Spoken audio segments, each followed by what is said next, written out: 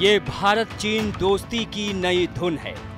इन तस्वीरों को देखकर भला कौन कह सकता है कि दोनों नेता कुछ समय पहले तक बेहद तलखी के साथ आमने सामने थे।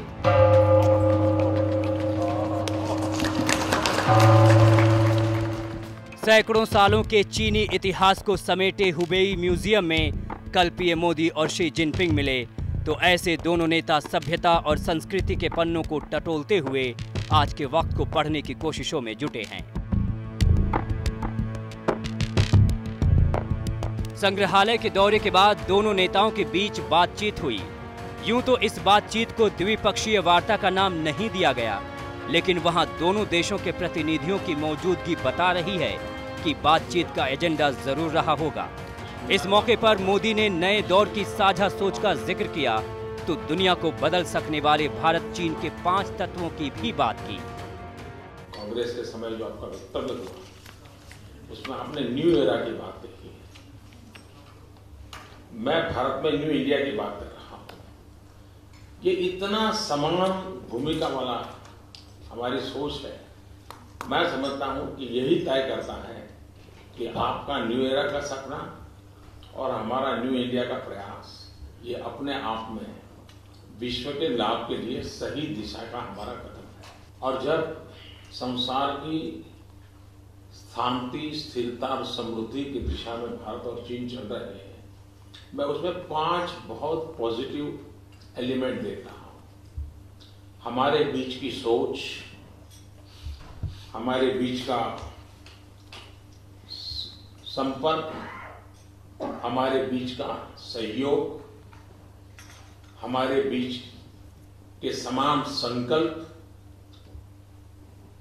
हमारे बीच के समान सपने, ये पाँच एलिमेंट ऐसे हैं। सोच, संपर्क सहयोग सपने, संकल्प। विश्व शांति, विश्व स्थिरता, विश्व समृद्धि, इसकी ताकत बन सकते हैं। दो देशों के बीच भरोसा जगाने के लिए ही हो रही इस शिखर वार्ता में भारत, चीन के लोगों के और करीब आने की ज़रूरत का भी ज़िक्र हुआ। एक्सलेंसी मैं सोचता हूँ हमारे बीच का ये जो एक निकटता बनी है, एक दूसरे के प्रति विश्वास पैदा हुआ है, एक दूसरे के प्रति समझ बनी है, ये धीरे धीरे पीपल टू पीपल कांटेक्ट में किस प्रकार से कन्वर्ट हो, और वो सबसे बड़ी ताकत बनेगी, और वो सिर्फ़ हम दो देशों की नहीं दुनिया के उज्जवल भविष्य के लिए वो शक्ति बनेगी। डोकलाम के पतझड़ के बाद वुहान का बसंत आया है। पहली बार दोनों देशों के नेताओं के बीच शुरू हुई इस अनौपचारिक शिखर वार्ता में कुछ महीने पहले तक रही हर तलखी गायब है। बस बात भरोसे की हो रही है, साथ चलकर देश और दुनिया बदलने की हो रही है।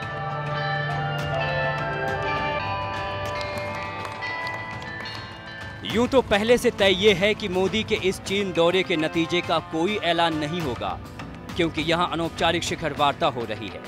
लेकिन मोदी बताना चाह रहे हैं कि भारत चीन के बीच रिश्ते आगे बढ़ रहे हैं। क्योंकि उन्होंने ऐसे ही अनौपचारिक बातचीत के लिए शी जिनपिंग को भारत आने का न्योता दे दिया है।